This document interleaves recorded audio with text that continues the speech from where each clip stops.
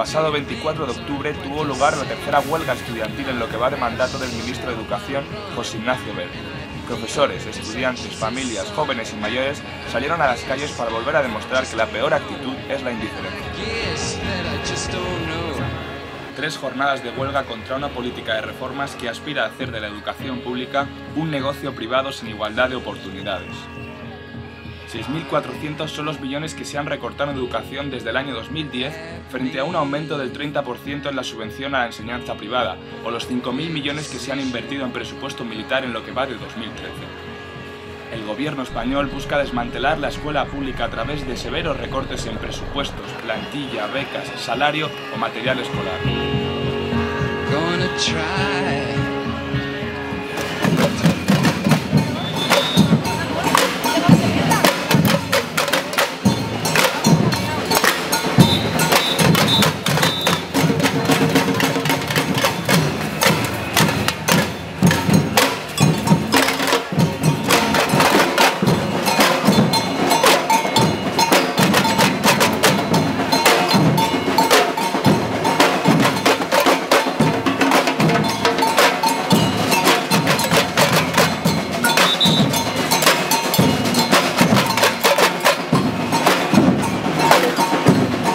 ¿Es al ministro cara a cara que le diría?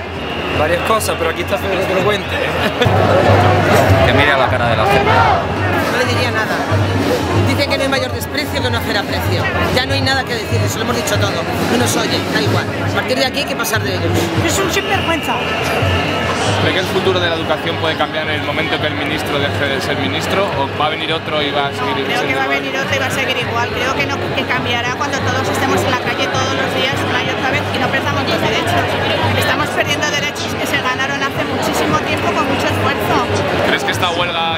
manifestación van a tener consecuencias reales?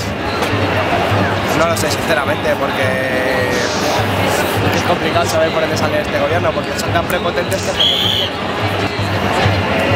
Pues me gustaría ser optimista y pensar que, que fuera a ser una huelga definitiva, pero bueno, creo que todavía queda mucha lucha, quedan muchas huelgas, queda que más gente salga a la calle, hoy hay muchísima gente, pero creo que hace falta que salga todo el mundo, gente con hijos, sin hijos, familias, ¿no?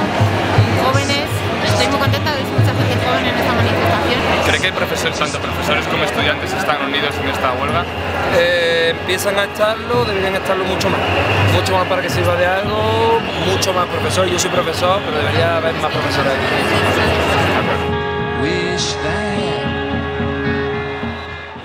Una política que responde a ideologías del pasado.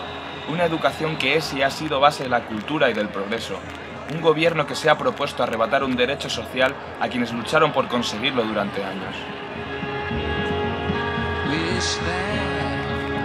¿Qué le diría a la gente que dice la huelga no vale para nada, ir a las manifestaciones no Todo vale.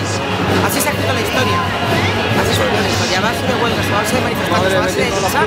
Así es como se han ha habido grandes movimientos sociales, se han conseguido. ¿Cómo te crees que hemos conseguido los derechos que estamos perdiendo hoy en día? ¿Cómo te crees que los hemos conseguido? Porque mucha gente que lleva muchos años luchando y gracias a eso se ha conseguido. Pues ahora hay que seguir luchando.